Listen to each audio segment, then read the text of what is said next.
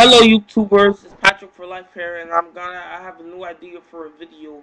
It's gonna mention two things. First about um second about TNA. But the first thing I want to let out there is I want a video response to what I'm about to say and I want comments here. Comment, rate, and subscribe of course as usual. Um my question is, do you think Monday Night Raw will become the longest reigning wrestling weekly show in the history of TV and wrestling in general? Now, I know most people are thinking it's impossible, right? But there was a show called WCW Saturday Night that lasted 28 years. Now, for most kids that don't know WCW Saturday Night, or most wrestling fans that never knew, ever heard the show WCW Saturday Night, probably Gemini or Gold Dizzy, if you ask them, they'll tell you more about it. But here's just a little detail on it.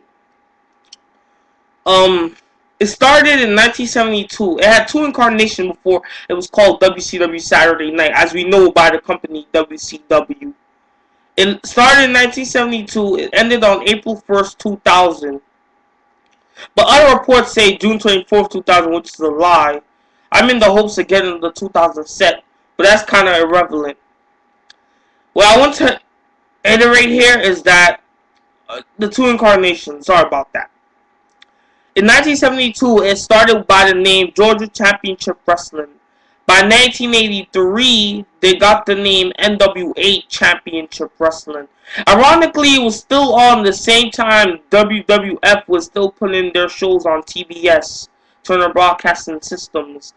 And then in 1992, they changed it to WCW Saturday Night but I liked it when they had the show with the logo, the Superstation on it.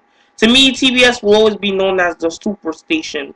So comment, rate, and subscribe on that. What do you think? Next thing I want to focus on in this video is Mick Foley um being really fired and Kurt Angle um hopes of going to the WWE. First on Mick Foley. Mick Foley is not fired in no way possible. Also, he cannot do the Cactus Jack persona because it's copyrighted by the WWE. And if he tries to sell the um, Cactus Jack persona on TNA television, the WWE will see it and they'll sue Cactus Jack and TNA individually, Mick Foley. Only reason why he can use Mick Foley is because Mick Foley is his real name. Now, for Kurt Angle, Kurt Angle's not going to um, Vince McMahon.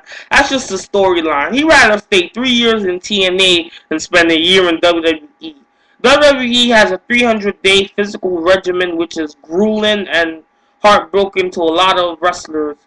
The money, of course, for Kurt Angle is good, but he doesn't have a lot of things like his family and stuff. You know, the things that mean so much. With him living in Orlando, a better setting, instead of working for WWE 300 days a year, go to city and city, city to city, never expecting what the weather could be. One night you could go to cold weather. Next night you could go to sunny weather. You never know what to really um expect. Also, another thing, if you guys folks haven't realized, whatever Kurt Angle does is special. Um, Mike Tenay can only say the Olympic Slam because WWE has the copyright to the Angle Slam as a special. Like, why do you think when Mick Foley does that sock move, they don't call it the Mandible Claw? Forgot what they call it, but they don't call it the Mandible Claw because WWE has the copyrights to it. So in my view, at the my opinion at the end of this video, Kurt Angle not going to WWE. Don't even think about him going. Mick Foley being fired? Oh hell no. They have something really good in store for Mick Foley. And one last thing, I may be making a review on Raw. I'm probably gonna make a review on ECW and Impact, so I'll stay away because Raw looks it seems to be more god awful. TNA was kind of really awful, but it wasn't as bad as Raw. But a really god awful week for wrestling, just a disgrace. I just really hated this week. So that's pretty much my opinion on things. Bye. Oh, and don't forget to make the video response on the first question I asked.